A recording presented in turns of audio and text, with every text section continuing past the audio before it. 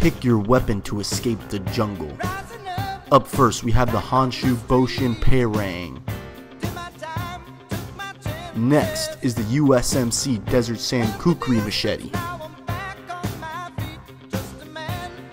Lastly is the USMC Semper Fi Sawback Machete. Don't forget to like and subscribe.